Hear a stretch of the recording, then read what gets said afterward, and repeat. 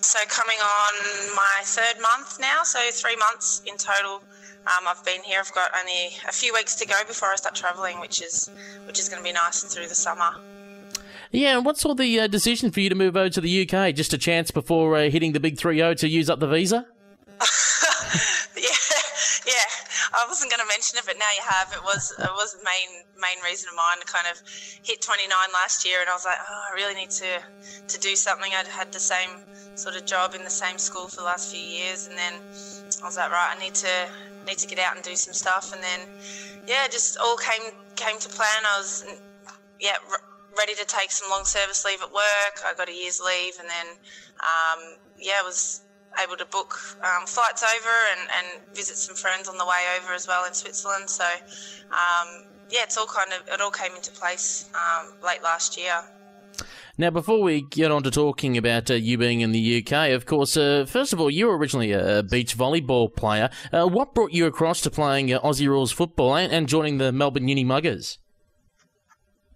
Yeah, so again, volleyball was kind of hit a stalemate with in terms of finding partners and sponsorship, and, and like most most sports and female sports. So then uh, it was time for a change and, and to learn a new sport. And I actually had a, a good friend of mine, Esther Hassett. Um, her and I worked together, and we um, got started talking. She said, "Yeah, come down and try the football." I'd always wanted to, but I'd had netball and beach volleyball and other kind of non-contact sports I had to watch make sure my body didn't get injured and whatnot. Mum was always a bit bit worried about um, the contact of football. So um, yeah, so I was like, all right, well, it's probably about time I, I, gave it a go, and that was the rest is I guess history. I went down to a pre-season maybe three years ago now uh, through the summer and, and never went back to beach volleyball after that. So it's been pretty pretty good since then.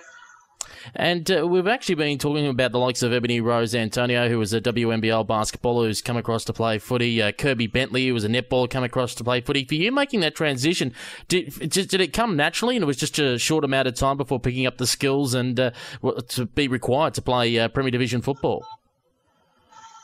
Yeah, I, obviously it's completely different sport. It's a summer sport compared to a winter sport. It's two people versus 18 on the field. It's sand on grass. So it's, they're completely different. But I guess just um, having the general knowledge of, of how sport sporting teams work and I guess um, hand-eye coordination came fairly naturally. And I'd, I'd played all sorts of sports as a kid and I'd always had a kick around to the football. I never had, uh, I don't have brothers or anything, but I had lots of male friends that we'd just muck around together as, as kids and, and in the playground. So that's how it all really, um, yeah, came about. So the transition wasn't too bad. Um, I guess just getting used to that many girls around and and um, yeah, a bit more, bit muddy and a bit colder and, and whatnot, as opposed to running around on the beach in a bikini. Now, of course, you had the opportunity to, to pull on the big V, and you played in the exhibition games as well, playing for the Western Bulldogs. Um, I believe when you went across about th- uh, three months ago, it was maybe just before the announcement that that looked like 2017 would be the year that there'd be a, uh, a women's national comp. Was that playing on your mind at all, knowing that you'd be missing a year of uh, at least footy in Melbourne? Yeah, look, it was playing on my mind anyway, the, the chance that I could be possibly drafted again for the two games. So I was disappointed to miss out on one, let alone two. And now I've heard of of it. Uh, well, I think the next game is definitely going to be um, shown broadcast on, on television. So that's that's another chance that I've missed out on. Again, to 2017, um, well, 2020 was definitely the question for me in terms of probably my age and and whatnot. But 2017, I think it's it's probably put me back a bit moving over here, but um, I, I don't know if 2017 was even realistic for me. It's another two years away. I'm still getting a bit older and um, things change, so I'm, I'm not too sure really um, what the future holds for football, but I'm just yeah really enjoying um, teaching and learning um, over here. So, of course, you moved across the UK. You're teaching at the moment. How did you end up getting uh, uh, wound up with with AFL London and the Wimbledon Hawks? Yeah, so I was like, I was pretty upset that I was going to be missing football. That was probably the main thing, other than family and friends, of course, that I'd be missing back home. So um, I thought, right, I need to need to get involved over here. Obviously, quite a few Australians move over, and and whatnot. And I ended up just doing some research. I found out that there was a new new women's league starting.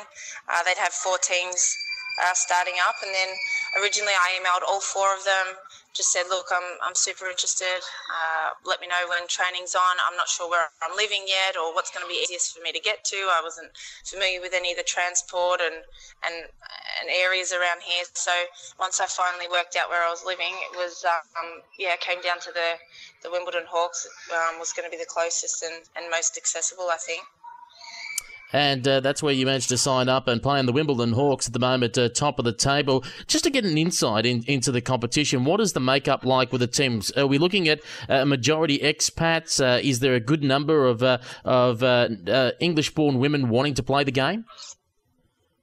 Yeah, yeah, it's it's interesting. I think personally with our club, the the Wimbledon Hawks, ours is probably the most diverse in terms of um, nationalities represented, I guess. So um, we've got yeah girls from, from all around. There's there are quite a, lot of Australians throughout the, the men's and the women's leagues over here, but there are still um, still some English and, and all sorts of there's Kiwis, we've got a couple of Germans, Scottish. Um, so there's there's a mix of, of all of that, and I know at the Hawks we've got two very passionate um, locals that are running the uh, the men's and, and, the women's presidents there. So um, yeah, so I think it, it's it's a mix. It's it's probably there are quite a lot of Australians, yeah, but um, I think the more and more people that get to see it and are exposed to it, the more that they're they're becoming involved. And with yourself, because you're an experienced player, do you see yourself almost taking on a judo coaching role to be able to teach those that are, are new to the women's game in uh, the UK? Yeah, look, I, I kind of came over and uh, obviously they've they've been established for quite a while, the men's teams especially, and um, obviously having a female come over and kind of tell them do this, do that was probably not what I wanted to do. So I, I eased my way into it, and and then so, well, when I say ease, by the second session I was kind of running a, a, a couple of drills and whatnot. But um, they, I, I've really enjoyed bringing the, the skills and knowledge that I've I've learned from back home over, and the girls especially are just so receptive to to anything that that has been said from me and anyone else that's got that experience. Um, they're just so willing to learn, and um, it's it's such a great team environment. Everyone's just so supportive. So um, and and we knew it was a new league. We knew it was a new competition, a new sport. So we're all learning. Um, every game we're coming up with new rules we have to explain and, and new tactics and, and skills that we need to work on and build on. So it's it's continually learning from from when I first got here to the end of the season. I think so. And how do those uh, rules and playing surfaces, etc., differ to what we're obviously used to here in Australia? Oh, in terms of rules, there's really no rules. Um, the only there's there's no rule changes. It's all the same, same same tackling, same skill base. The only thing that, that varies is just the amount of girls on each team. Um, as as we've said, it's the first year that the league's been around, so some clubs are still struggling to field a full side. So we just have to kind of weigh up how many girls are, are there and who's available on the day and how many how many we're going to play um, on that day. And uh, how about uh, how easy is it for um, uh, the sides to be able to get some grounds? Is it uh, similar to here in Australia, essentially taking over cricket grounds uh, uh, during the year? Yeah, well, the pre-season cup, the, we actually ended up on a, um, a rugby pitch, so they kind of made it oval-like with some with some cones, um, and then the goalposts have aren't around. So it literally it's the rugby post and then a couple of sticks either side. So um, we're doing with what we can. Some of the ovals um, have have a proper full size ground and, and proper goalpost, but we kind of have to make do with some of the, the rugby pitches and, and soccer fields they've got over here um, and just adjust those accordingly, I think. Well, we see occasionally every now and again on YouTube the odd report that comes through of um, uh, of some school somewhere is taking on uh, Aussie rules for their kids. Being a teacher, you be able to tell us if, if there's any schools, at least in the area that you're at, that it's trying to take it on as part of the curriculum? uh, I'm trying.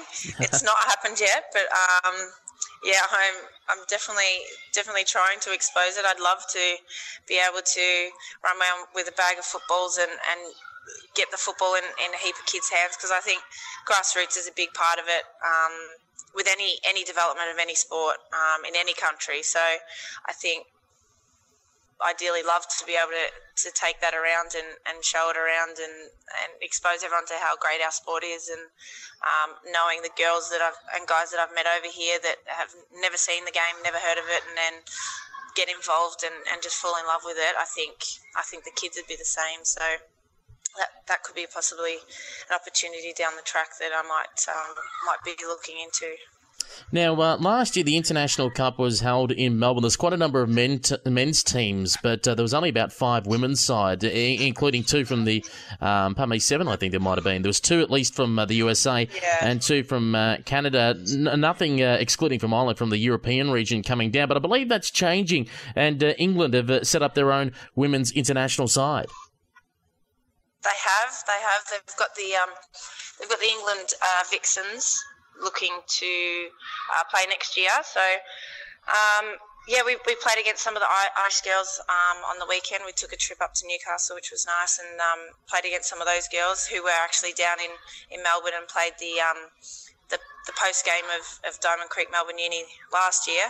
Um, so I got to meet some of those girls last weekend, and yeah, the English girls are definitely looking to, to field a team of um, British citizens to to go over. I think they head over to Croatia um, soon enough. I think later, a bit later August, in the year. yeah. So um, yeah, yeah. So they head over there, which will be um, which will be good for them, and, and hopefully some more exposure for our sport, which will be good. Actually, I'll correct myself. That AFL Europe Cup uh, over in uh, Croatia coming up in October. Is there any chance that they could October, put the, yeah. Is there any chance they could put the phone call into you while you're uh, touring around Europe and maybe uh, be a ring in? Look, they can definitely call me, but I think, and in court, I'm, I'm not sure about the rules yet. I haven't really looked into it, but um, I think it's got to be a British citizen. So I miss out on the playing role. There might be some sort of other coaching, developmental support role that I might look into. Um, I, I possibly will be around for October, so I don't think I will be able to pull on the boots though for that one. So I'll leave it to them. And uh, Lauren, just before we let you go, um, when can your uh, Melbourne Uni uh, friends and family uh, expect you back home? Oh, um, well, they won't be expecting me back for this season, that's for sure. Um, they'll they could possibly see me over over the pre-season um, through the summer, um, and then I'm not too sure what what 2016 holds yet. I've I have no plans as to whether I'll be back, whether I'll be staying in Melbourne. So it's kind of all up in the air at the moment. I've I've really enjoyed my my time over here. I've enjoyed being part of the Wimbledon Hawks and and just getting to know a whole heap of different people, new places. So I think there's probably still some more travelling and exploring to do next year, which may probably keep me away from from the Mugars again for another year.